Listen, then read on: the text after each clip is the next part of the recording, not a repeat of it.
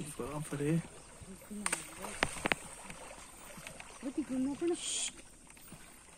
किती आले गो